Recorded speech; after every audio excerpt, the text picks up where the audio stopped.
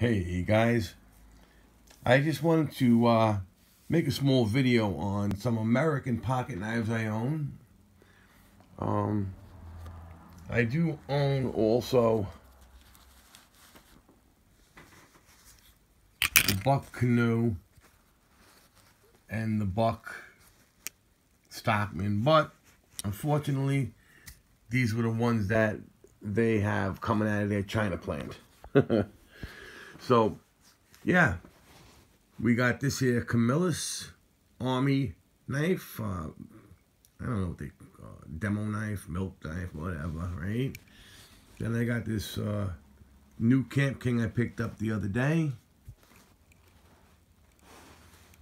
And this is from 76. This is from the early 70s, I would imagine. This was my pocket boy, pocket, pocket boy.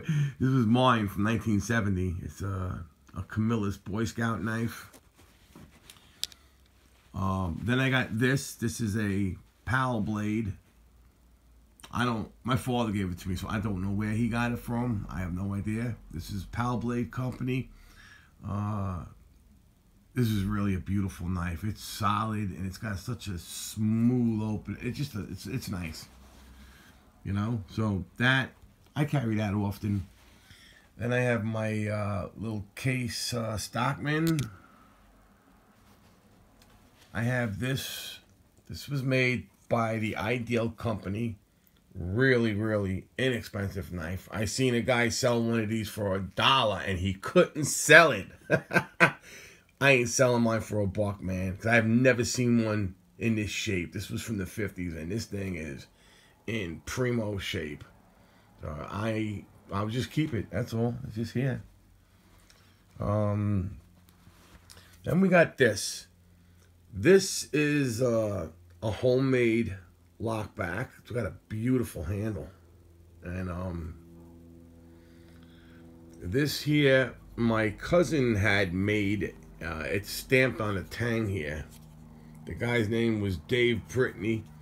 It was made in 1983 and my cousin handed it off to me. It's a really cool knife. It's sturdy and sharp as anything. It's uh, your typical buck look-alike, but it's got a fancier handle.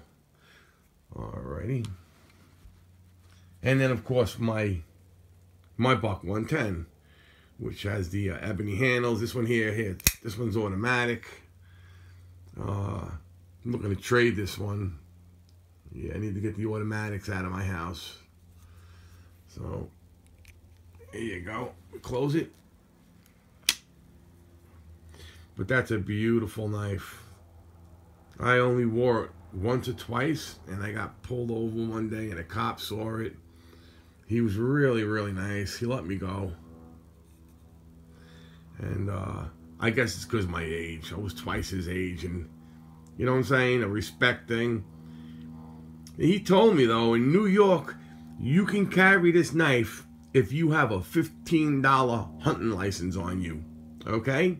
All you got to do is say, I'm on my way to go hunting. Imagine that. Can you imagine that? What a loophole. what a bunch of garbage. But anyway, that's my little collection of American knives. And then I got I got a couple of, I got a knife from Ireland. And here's another thing I got that's American, man. I, this is also probably from the 30s or 40s, but I have no idea what it is, man. It is, it's not a knife. It's a slip joint. It opens up, but here, let me, let me just, uh, see if I can open this. Hold on, let me use my teeth. Ah, there you go. Okay. It is, it looks like a feeler gauge. It's really flimsy. And I, I just don't know what it is. Hey, yo, if anybody knows what this is, please let me know because I've been going nuts for almost a year. But anyway, here, if these, if I, if I would have bought these, these would have been part of my American, but they're not. They are Chinese made, overlooked by Americans because it's an American company. Same with Schrade, uh, Schrade Imperial, Buck, uh, Rough Rider. Uh, uh, gee, man, there are so many now that that moved over to uh, China. Let me see. Buck, Rough Rider, Schrade, Camillus, just just a lot. Anyway, if you notice on these knives, on the back of this knife, it's very, the edges are sharp, very square. But on this one, I really, I forgot what happened. Oh, I know what happened. One of the springs were proud. They were hanging up high. So I, uh, I took it to a belt. And then I started doing it by hand. So now these edges are just really smooth. The whole thing's just rounded off nice. Actually, really, really gave it a beautiful look. You know, you're looking at a $20 knife from China that doesn't have a single gap or a single problem. So this is why I tend to not agree with people about Chinese knives. A lot of them are nice you know. Um, this particular knife, there's a lot of uh, videos on the internet where they compare this 371 to the 301, and there's hardly any difference. As a matter of fact, they say that these blades are prettier looking. They are pretty looking blades. Again, I can't open it because I'm a one-handed dude.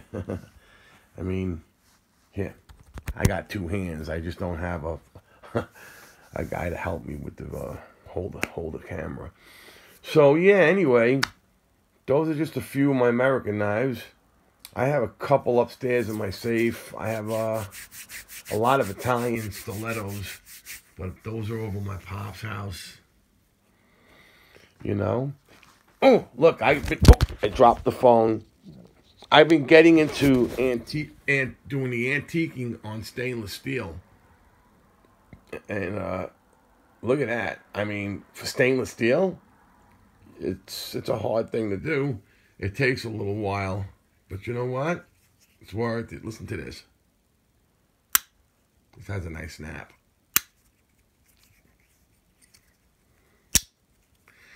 Yeah. Anyway, guys, let me pull it together. I got some people in my family that need help today. I'm going to give them a hand. But once again, these are my Americans.